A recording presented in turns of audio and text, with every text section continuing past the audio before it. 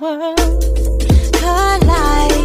I'm gonna drown you out before I lose my mind. I can't find your silver lining. I don't mean to judge, but when you read your speech, it's tiring. Enough is enough. I'm.